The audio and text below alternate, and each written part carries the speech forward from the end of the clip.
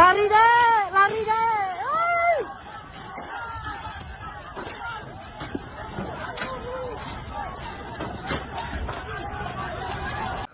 Panglima TNI Laksamana Yudo Margono Murka melihat aksi anarkis demonstrasi di BP Batam soal Pulau Rempang. Ia merasa aksi anarkis tersebut sudah melewati batas karena tampak aksi demo melempar batu ke arah polisi. Yudo juga merasa heran karena polisi diam saja saat dilempari batu besar dan tak melakukan apa-apa. Meski begitu, Panglima TNI meminta anggotanya untuk menahan diri dan hanya akan dikerahkan bila kepolisian tak dapat menanggulangi kericuhan. Buntut aksi demonstrasi yang ricuh pada Senin 11 September 2023, kaca di gedung LAM Batam pecah. Bahkan, hingga Selasa 12 September 2023 tampak belum ada perbaikan terhadap kaca-kaca yang pecah akibat aksi demonstrasi yang sempat ricuh.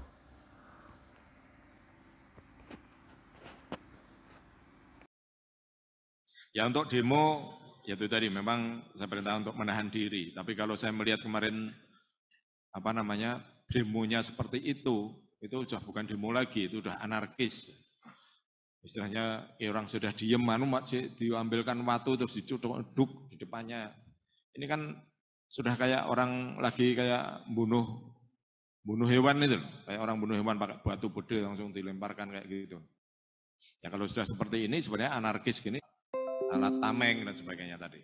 Tapi karena di situ uh, supaya tadi apalagi tadi yang demo bukan orang-orang sebenarnya bukan tuntutan orang situ justru malah orang luar yang yang datang. Nah, ini berarti sudah sampai ke sebenarnya sudah masuk ke ranah pidana.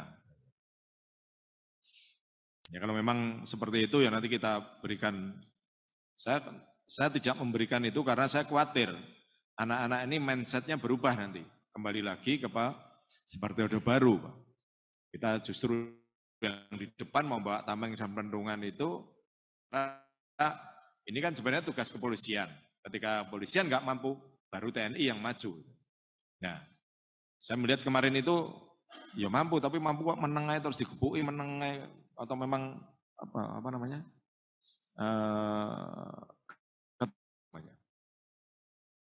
jadi saya lihat kan dia bertahan aja kan dengan di atas melumpuk jadi satu dan sementara ini yang yang pendemonya ini bawa batu besar-besar itu Pak dilemparkan kayak yang melempari itulah. Bukan melempari